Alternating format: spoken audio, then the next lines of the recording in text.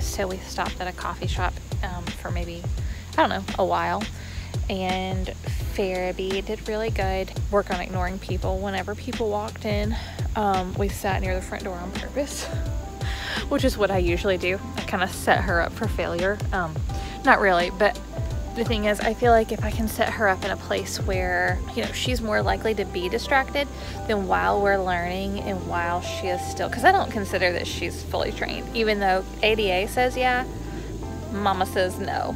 I know there's things that she needs to work on, so whenever I have an opportunity to work on stuff, you know, I let her work on stuff.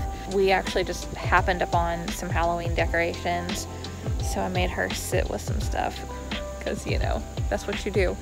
Um, but I think what I'm gonna do is show you guys our um, fall decorations too today because we kind of have a short day of content and I've been wanting to share this stuff with you guys anyway. So